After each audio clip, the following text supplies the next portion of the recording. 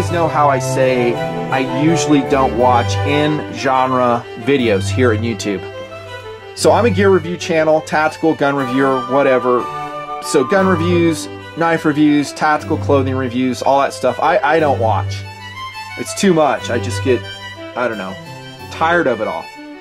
I will admit, however, that I really enjoy watching some watch reviews. I do. I'll click around and I'll just waste like two hours checking out watches. It's so weird. I know, I'm embarrassed to admit that, but I do. Maybe you're the same way. If you're watching this TNP WRV, maybe you are, and I'm glad you're around. There is a subset of TNPers that are loving the watch reviews. I surely am. It's a nice mix to the content flow, and like I said, I can go different places testing these watches, especially these Wengers. Here they come right now. Uh, we've got a trio. It's going to be kind of a three for one. These are actually the two of the same model. This is a different model. But these ones are scuba dive proven in the Nutnfancy project. I'll try to show you the footage. Scuba dive proven. Hard to do. It's a rare occasion when I will be able to do it, but I'll do it whenever I can. Uh, to just test and to have fun with the watches. It's a fun adventure, and it's really cool to be able to come to the table and say, hey, these things are proven. They're awesome. So it's not a desk diver with me. I'm actually an adventurer getting out in the saltwater and apparently shark territory testing these watches. And yeah, it's the red triangle where I dive these watches. It's off Monterey where I've been going.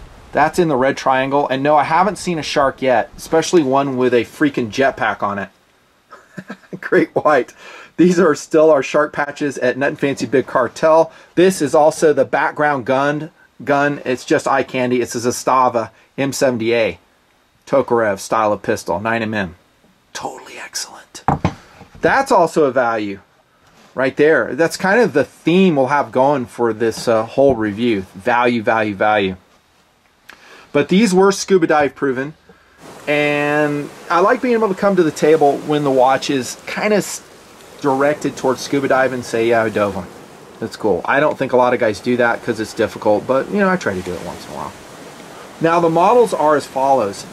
This is Tactical Doodle's watch. This is my watch. They are the Wenger, I pronounce it with a V, the German pronunciation, Sea Force watches. They are dedicated dive watches.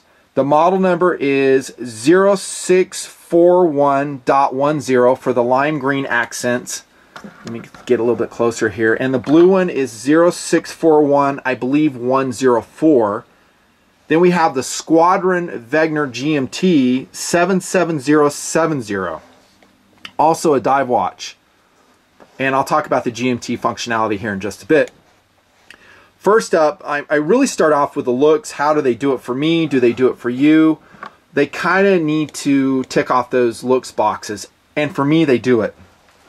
There are different variations of colors for the Sea Force. The tactical black, and it has a black ion stainless steel bracelet, is 0641.107. Please use my Amazon links below supporting the independent reviewing voice of TNP.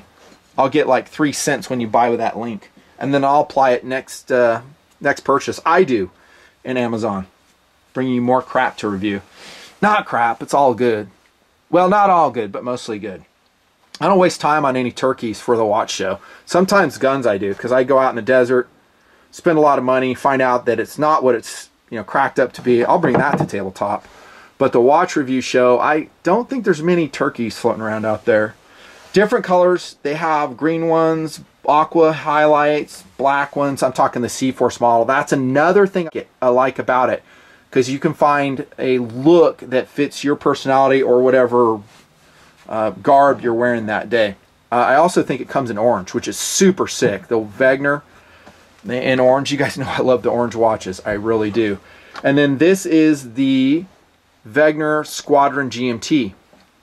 Really elegant look, and I'm going to zoom in on these faces. We'll talk about the details right out the gate. I love the white coloration. It's kind of a pearlescent, iridescent white on the Squadron. And by the way, all three have sapphire crystals, which at this price point is amazing value. It really is.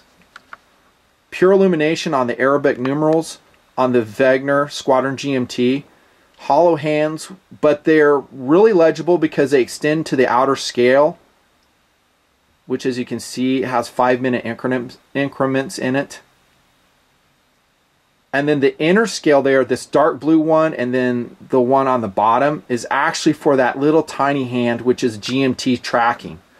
Stands for Greenwich Mean Time, or Zulu time as we call it in the pilot community, but you could actually track whatever time zone you want with this hand. And the super cool thing about it is that this small hand moves one revolution every 24 hours. That's what you need to understand about the GMT functionality of this and most, not all, most GMT watches. So right now, whatever time zone it is, I think it is GMT. I'm not positive. It's showing what about 1345 hours because that's 1200 hours at the six o'clock position, and then you can see it's. Uh, I'm trying to get to focus here. There you go. Maybe 13, uh, 15 actually. Now that I get it uh, looked at closer. Swiss made in the face here. Are they entirely Swiss made? Do they qualify for the, the terminology Swiss made? Mm, I don't know. I know the Swiss watch industry is very particular what that labeling means. It has to have a certain percentage of actual in-country Swiss production, both manufacturing and assembly. I'm not too sure about these Wenger watches, but judging from the price, there's probably some overseas stuff going on there. So maybe in China, maybe in Taiwan, I don't know. But designed in Germany, maybe partially assembled, who knows where. I don't really care. All I know it's a super quality watch and the price is right. Back to the looks on the Squadron GMT though. Notice it has like blue iridescent hands too. See how it's kind of a shiny blue? Really cool look. That with the phosphorescent, not really lime, but uh, what color would you call that? It's just kind of a, a, a lumen a, a lume green on the Arabic numerals. It looks really cool. Then you have an illuminated index mark on the rotating 120 click, apparently sand-proof bezel on both of these watches. So I dove it in the surf, uh, boogie boarding, dicked around with that for a while, and then I went scuba diving only to about 30 feet with these watches. I think I went with the Seaforce. I can't remember. I know I did it with the, the Squadron. And the bezel still turns cleanly. This is, I believe, the actual watch I dove with. Real nice positive action. It sounds great. 120 click. And then you have really clean markings on this bezel too. They are actually indented a little bit, so they're not just painted on or laser engraved. Then you have some knobs at every 15 minute mark, which are used to assist you with gloved operation. Let's go to the squadron. Again, TD like the blue, he got this one. And all three of these watches are rated to 200 meters, by the way, with screw down crowns. This is a great looking watch too. And I said it has to kind of attract me. Uh, what I really like is a big enough face. I don't like small faces on my analog watches. And I like really awesome legibility. And these watches, again, do it for me. Big, easy to read hand, so our minutes hand is perfect. Our hours hand isn't short, too stubby, super easy to pick off the time. We have a red seconds hand in this blue one. That is the 104 model. Then we have a lime green, hot lime green seconds hand, and actually entire highlights. It's a whole theme between each watch, whatever color you get, on the dot one zero version. The markers, no Arabic numerals. We do have the Swiss cross at the top. This one had it as well kind of shiny, the Squadron, but this is a standard red Swiss Cross, super excellent. Five minute graduations on the chapter ring in there. And this one has date in it, and I think the window is too small and it's hard to read.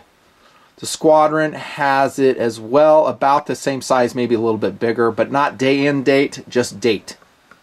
Honestly, when I wear these analog watches, more and more I'm pairing it with a smartwatch. So now I have a Series 2 on and that's just what I do. And then I can put whatever I want on the left wrist, and I don't really care about date.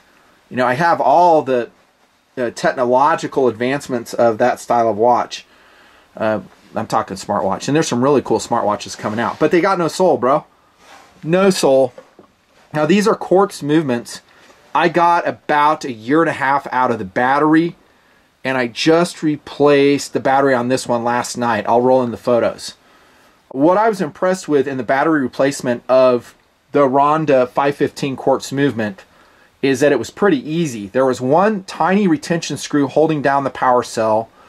Uh, be careful you don't lose that. It's tiny. It will pop out, and if it goes in the carpet, you're done. You're going to have to find another one that fits that, and it is a very specific uh, retention screw for that battery compartment.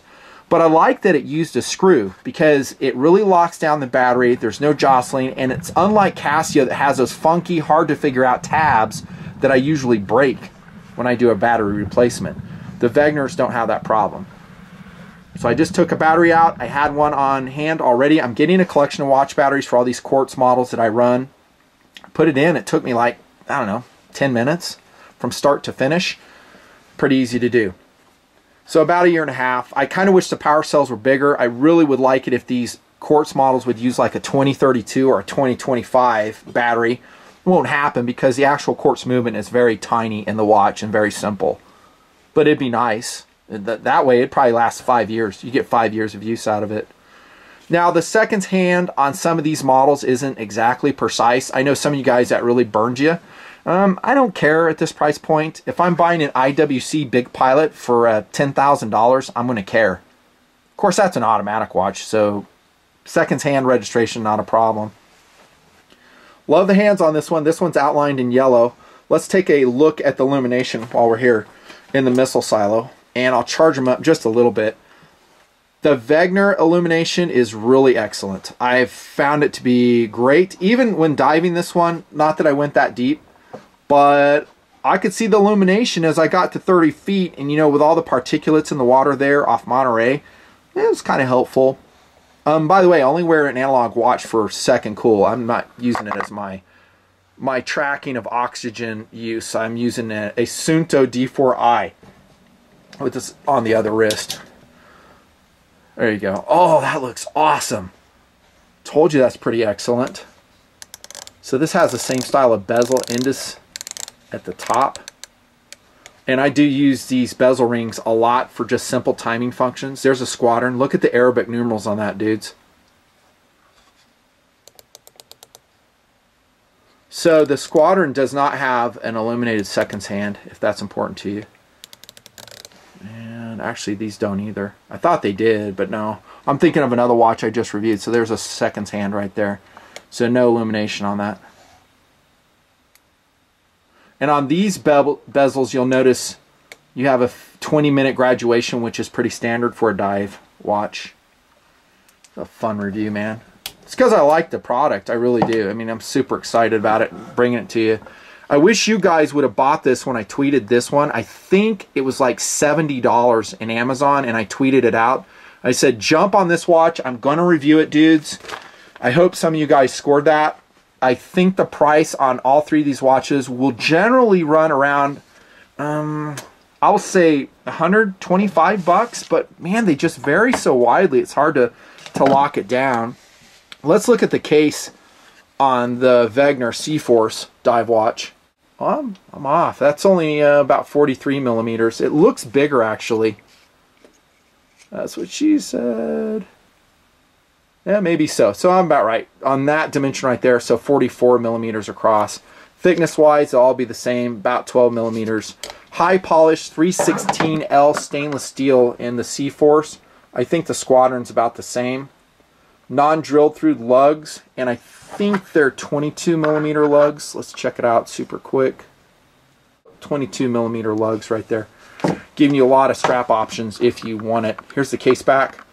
That super cool Swiss Army knife presentation, screw down case back high polish, saying it's Swiss made here, bragging about the fact that it's a sapphire crystal. You can see the model number here, 0641.10 for the lime green. Super cool looking. Swiss logo in the crown. Again, it's a screw down crown, which would be appropriate for the 200 meter rating. And it's hackable and then you'll just pull down, pull it out to position one to change your date. Pretty standard there. The bands on these are really excellent. They are high quality silicone bands and they have contrasted stitching that goes with the color you've chosen. So this one is lime green. You got lime green stitching. frosted stainless steel single clasp double keepers. It's a super comfortable band. Sweat factor, bang factor, pretty low. I do find in the summertime with all silicone bands, I have to take them off. Mm, I wouldn't say super frequently, but once in a while, I'll let the wrist breathe. Normally, when I get stainless steel bracelets, I'm pulling them off and putting on a Barton stainless steel band. So I'm kind of stoked that the Sea Force and the GMT come with ones already. Uh, silicone bands and their logo, their OEM. Here's the blue stitching on this blue Sea Force dot 104 model.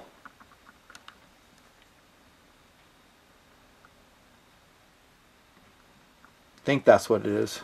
I'll put the links below, like I said. One thing I noticed about the Squadron GMT is that it had a really long band on it and it was adequate for my wetsuit. But I EDC this a lot more than I dive with it, so I actually chopped this one down a little bit because I had this much flapping out in the wind with the Squadron GMT. And the keepers on this one, on these Sea Forces, they worked, but on this one, not so great. I need to put some better keepers on it. They're just too far spaced. They're not very sturdy, and I don't really like the keepers on it. Same type of frosted stainless steel cl clasp and case back. Now in the GMT function of this watch, one thing you don't get is a GMT bezel. So where you could actually rotate it to your GMT hand and actually find out different time zones from that.